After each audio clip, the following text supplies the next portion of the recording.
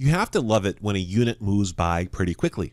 And this unit has gone by pretty fast. In fact, we're already over the halfway point when it comes to tables. In this one, we want to add some zing, some pizzazz, some styling to our tables. Now, this isn't mandatory. You can do a table with the default, and you know, it is what it is. But if you actually want to add some style to it, it is very simple to do. The first thing you have to do is make sure you select it inside the table. Now, there's going to be an error here, and it'll pop up, and I'll explain it in just a second. Because you're supposed to be able to click in the table, go to Table Tools, click on Design, and over here are Styles. When you click the drop down, as you hover your cursor over the different styles, it should change. Notice we're not really getting quite a change. Some of it's showing up as a change.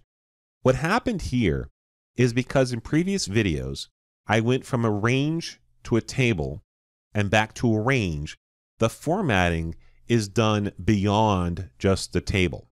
So if this happens to you where you try to apply a style to a table and it's not working and it's not catching, here's the fix for this go to your home, select the table, Control Shift down, go to normal.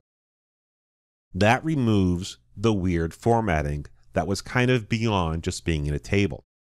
So now let's assume that this is where you're starting from. How do you format the table with some styles? Again, click anywhere in the table, go to Design.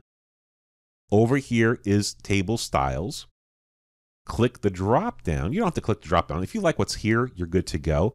But if you want to see more styles, you click the drop down. And if you hover your cursor, notice it's working this time, over the different options, you see the table changing to reflect what would happen if you click on it. If you sit for the certification exam, it's going to want you to change the table styles to something like table style light 10 or, or whatever. Now, you don't need to memorize this.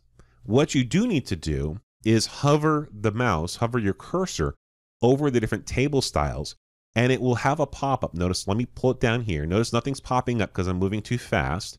But if I leave my cursor over an option, the name of that style shows up. So this one here is white table style medium 4. We're in the medium areas of the table styles.